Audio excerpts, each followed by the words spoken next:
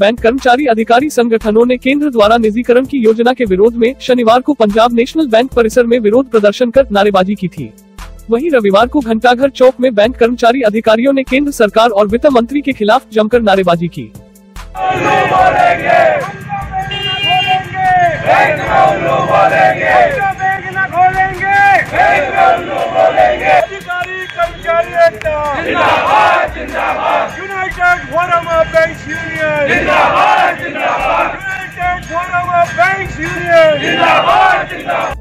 जिसके बाद घंटाघर चौक से टाउन हॉल तक कैंडल मार्च निकाला गया, जहाँ महात्मा गांधी की प्रतिमा के समक्ष मार्च का समापन हुआ।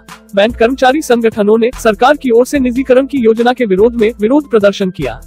कर्मचारी संगठनों ने कहा कि यदि उनकी मांगे पूरी नहीं हुई तो वे मार्च में संसद का घेराव करेंगे। एम पी खंडवा के उपाध्यक्ष प्रमोद चतुर्वेदी ने बताया कि वित्त मंत्री निर्मला सीतारमण ने इस महीने की शुरुआत में अपने बजट भाषण के दौरान सार्वजनिक क्षेत्र के दो बैंकों के निजीकरण की घोषणा की थी। बैंक कर्मी प्रमोद चतुर्वेदी ने कहा कि सरकारी बैंकों के सामने एकमात्र समस्या खराब कर्ज की है, जो अधिकांश कॉर्पोरेट और अमीर उद्योगपतियों द्वारा लिए जाते हैं। सरकार उन पर कार्रवाई करने के बजाय बैंकों का निजीकरण करना चाहती है। सरकार की जो राष्ट्रीयकृत बैंकों को निजी कर, करने के लिए जो मुहिम चला रखी है तो उन्होंने पहले राष्ट्रीयकृत बैंकों को मर्जर किया है और मर्जर करके सारे राष्ट्रीयकृत बैंकों का निजीकरण करके और उनको कॉरपोरेट्स को बेचने की उन्होंने एक योजना बनाई है। हम उसका घोर विरोध करते हैं क्योंकि उन्नीस सौ उनहत्तर में जब इंदिरा गांधी ने इसका राष्ट्रीयकरण किया था तो वो इस बिना पे किया था। कि जो बैंकिंग सेवाएँ गांव-गांव तक एक आम आदमी तक नहीं पहुँच पा रही है।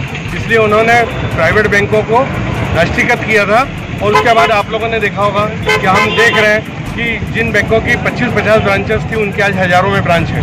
तो करीब करीब हर एक बैंक की बैंक की हज़ारों के अंदर ब्रांच है और गांव-गांव में ये सेवाएँ इस समय पहुँच रही हैं, जो केंद्रीय सरकार ने अभी करोड़ों खाते जनधन के खोले हैं, वो भी इसलिए राष्ट्रीयकृत बैंकों ने ही खोले, के कर्मचारियों, अधिकारियों ने खोले हैं। इसलिए ये जनता की सेवा कर, के लिए बहुत आवश्यक है कि राष्ट्रीयकृत बैंकों का वर्चस्व बना रहे और इसका एआईबीयू के संतोष शर्मा ने बताया कि हम 10 मार्च को बजट सत्र के दौरान संसद के सामने धरना प्रदर्शन करेंगे।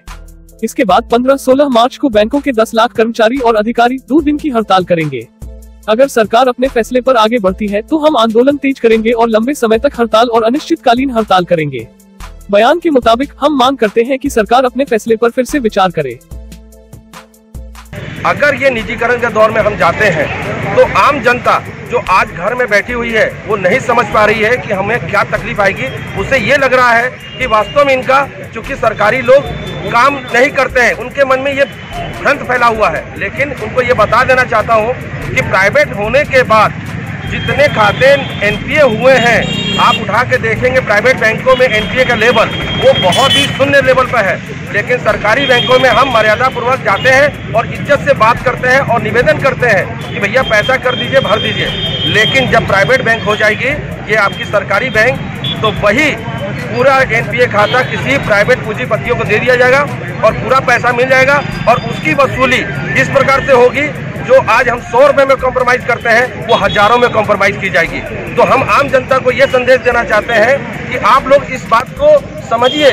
हम नहीं चाहते हैं कि सरकारी और प्राइवेट आप चाहते हैं प्राइवेट और सरकारी, दोनों का अंतर आपको कुछ दिनों के बाद पता चलेगा। अगर आप विरोध आज नहीं किए, अगर सरकारी को प्राइवेट में कन्वर्ट करते हैं तो आने वाला समय आपके साथ, आपके ज़िंदगी के साथ नहीं, आपके परिवार के साथ बहुत बुरा परिणाम होगा।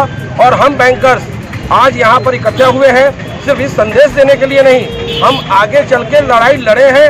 69 में हमें राष्ट्रीयकरण मिला हुआ है और 69 राष्ट्रीय को ये तोड़ा जा रहा है। वित्त मंत्री के हठधर्मिता को लेकर के तोड़ा जा रहा है और आने वाला समय अगर होगा तो हम लोग दिल्ली में कुछ करेंगे और संसद के घेराव करेंगे और जहाँ भी जिस लेवल पर होगा, हमारे यूनियन पदाधिकारियों द्वारा कॉल किया जाएगा, उसमें हम आगे बढ़ेंगे। Madhya Pradesh Chhattisgarh bank of officer association में सहायक महासचिव सुशील खेड़े ने बताया कि वे जमीनी आंदोलन के साथ सोशल मीडिया के प्लेटफॉर्म के ज़रिए अपनी बात पर रख रहे हैं। यह विरोध सिर्फ़ बैंक कर्मियों का नहीं, बल्कि उन सभी उपभोक्ताओं के हित में है, जो छोटे किसान, छोटे व्यापारी है। 1969 के बाद जो बैंकों का राष्ट्रीयकरण हुआ था, उसमें सरकार ने सरकारी बैंकों के माध्यम से ही सारे अपने प्रोग्राम लागू किए थे, चाहे वो छोटा किसान हो, चाहे छोटा व्यवसायी हो। या आम जनता हो, बैंक से जोड़ा था। आज जब बैंकों का प्राइवेटाइजेशन किया जाएगा तो ये सारी सेवाएँ समाप्त हो जाएगी, लोगों की सुविधा समाप्त हो जाएगी। आज हम जो विरोध कर रहे हैं, ये सिर्फ़ बैंकर्स का नहीं है, ये आम जनता का विरोध है, छोटे किसान का विरोध है, छोटे व्यवसायी का विरोध है। क्योंकि आज उन्हें पता नहीं है कि उनके साथ क्या होगा। उनकी भी सुविधाओं में और सामाजिक समरसता में कमी आएगी। तो हम इसको और दूसरे प्लेटफॉर्म पर करेंगे। हम ये चाहते हैं कि सरकार ने जो निर्णय लिया है बैंकों के राष्ट्रीयकरण को समाप्त करने का, वो तुरंत प्रभाव से वापस ले। अनंत माहेश्वरी की रिपोर्ट।